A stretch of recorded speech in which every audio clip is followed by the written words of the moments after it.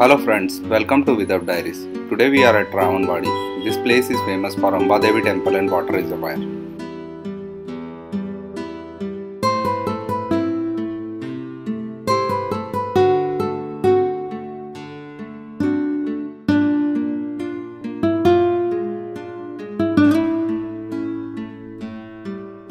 Presently we are at Ambadevi temple.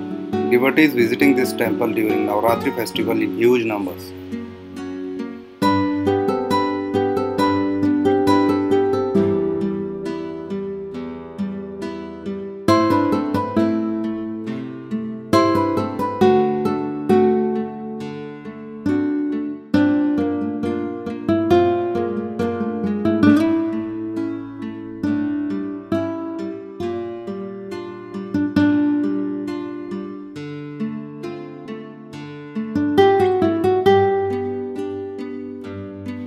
There is a beautiful garden near temple area.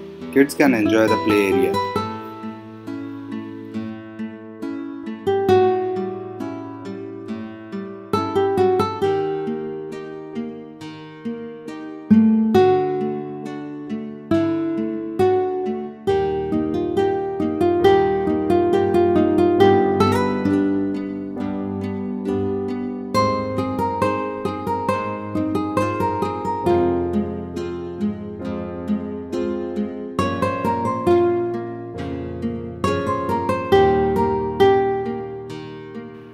Visitors can also enjoy the camel ride. Now we are going towards dam to enjoy the view.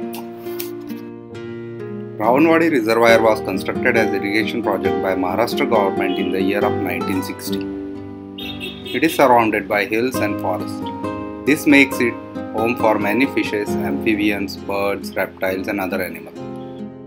One of the reports says that around 84 species of butterflies can be found near this reservoir.